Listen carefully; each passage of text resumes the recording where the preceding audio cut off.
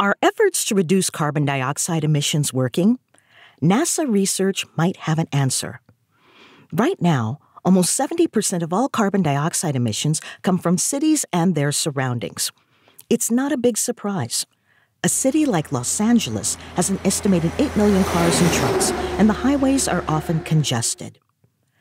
That's why some people are biking and riding buses and trains to work. Every time they do, that can mean fewer cars on the road. And that can mean less carbon dioxide, the main gas driving climate change and the warming of our planet. The big question is how much do emissions actually fall when we make these efforts? It's tough to calculate. Cities need detailed fuel and road data that most don't have.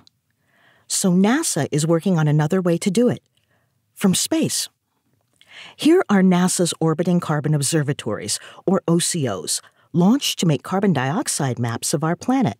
On sunny days, these satellite instruments see Los Angeles, Mexico City, Hong Kong, you name it. You can even look at the OCO 3 website find your city, and get its carbon map for different times of year. And our plan is to take this one step further. While these maps show all the carbon dioxide over a city, NASA is now working to isolate what portion comes just from cars and trucks.